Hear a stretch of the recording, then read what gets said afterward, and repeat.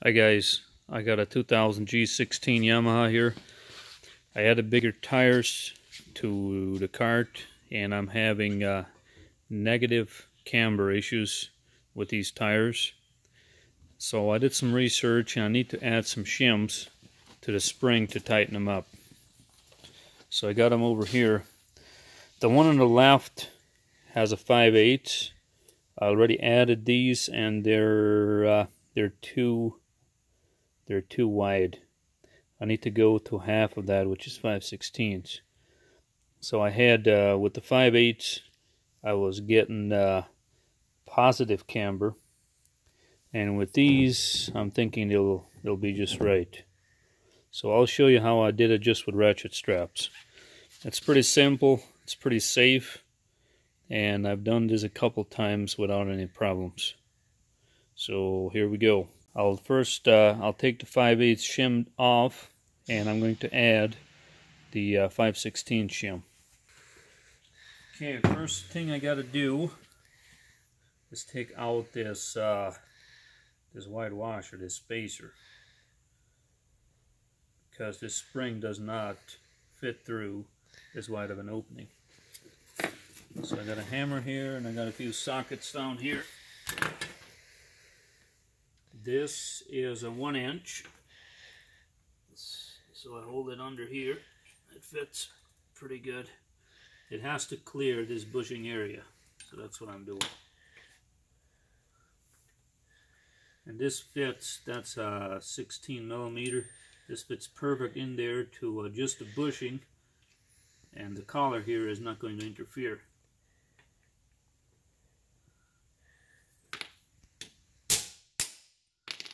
Got this off. All right, now we got to tighten it up with the short piece. I cut this off from a long one because uh, the long one is too hard to work with. So, all you need is uh, just a simple uh, punch. Put it through here. I'm going to attach my straps to that. I'm going to use the vice grip to retain one end so it doesn't slip out. So all you got to do is feed this through. It helps if you burn off this edge. Take the trusty Leatherman and pull this back. Another reason why the strap works so well is, is because it's not going to damage the paint from if you have painted uh, springs. So go up as far as you can. You don't have to get the whole coil. Just the top two will work. Slip this in about right this one end. Slip this through the loop.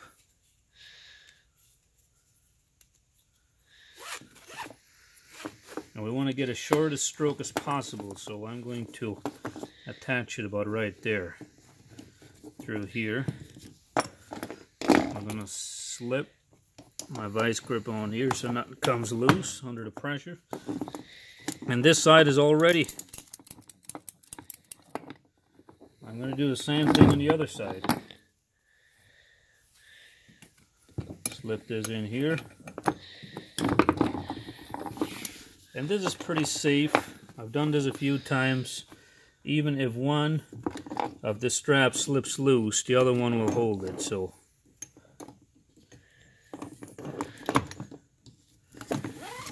I could have safety glasses for extra protection. All right.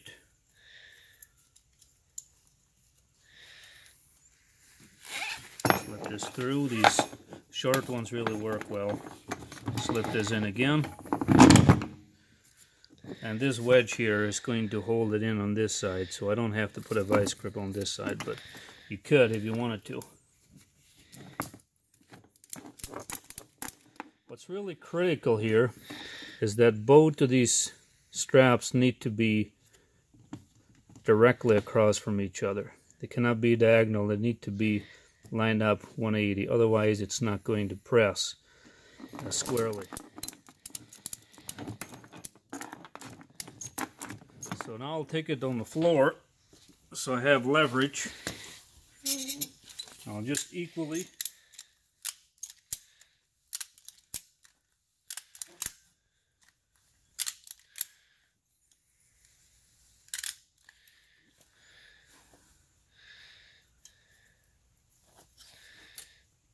Okay, still need to go a little bit more.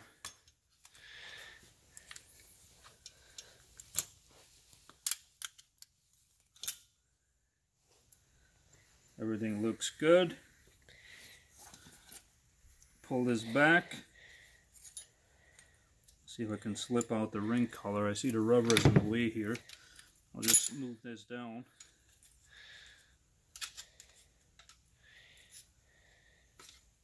It's a rubber bumper. That needs to be out of the way. So now we got the collar off. This is what holds it in place. We can release just one at a time. Release the other.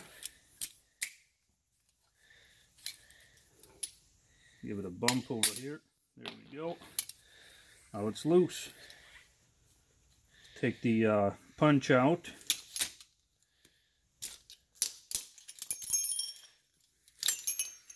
I replace this 5 8 shim with my 5 16 and just put it back together again.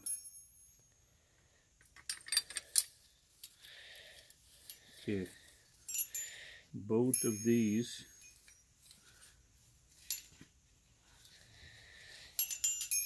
I'll scoot this up so it's up further like so. Now I got to do the same thing. Compress it again. Slip the retaining ring in. And off we go. Shouldn't take too long.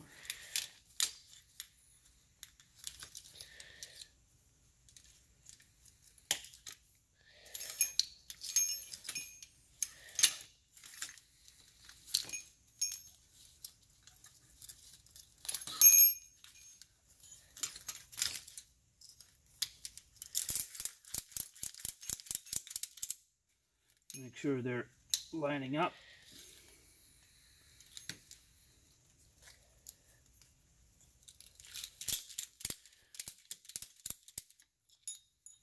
Push that rubber down again. It gets in the way here. All right, we're ready for some torque.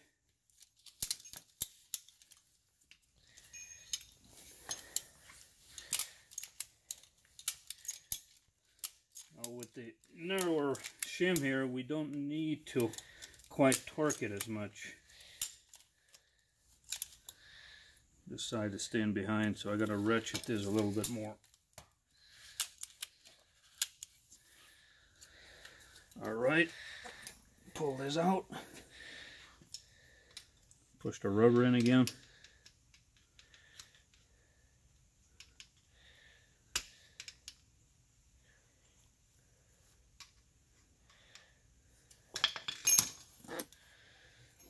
Okay, might have enough room here to clear it.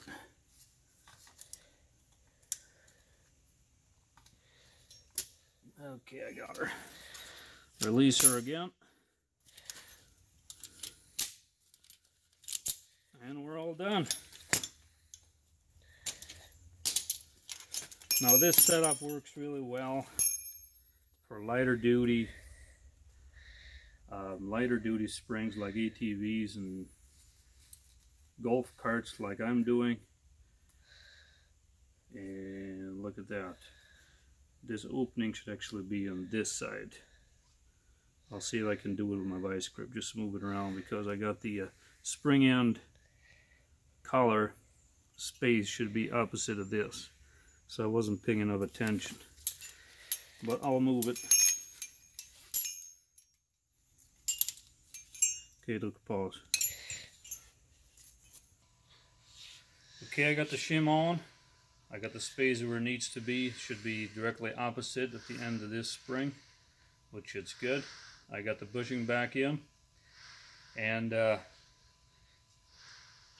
I got these from a shaft that was laying around. I cut it with my bandsaw.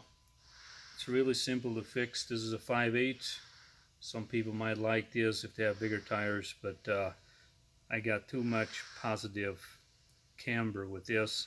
So I'm backing it down to the 5 16s and we'll see how that turns out. Some people use plastic PVC that they cut. I personally don't trust plastic. Some people say it works fine. I just used uh, shaft lay. I was laying around. Uh, it doesn't have to be this thick, but that's all I had. It's sticking fast a little bit here. Okay, I'll show you how it looks once I'm done. Stop. Okay, I got the shocks back on. I'm still seeing a little bit of positive camber, but once uh, once I got two 200 pound gorillas on there, it should level out. Um, not too bad. Driver side is a little bit more.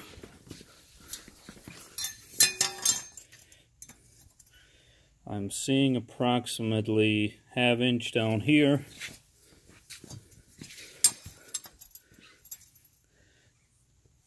And I'm seeing about a quarter inch down here. Overall, not bad. I think I'll uh, I'll leave it this way. Uh, if it's too much in the future, I can uh, cut down, maybe it, cut it down to eighth of an inch spacer. Right now it's at uh, it's at a 5 16 spacer. All right, I hope it helps someone.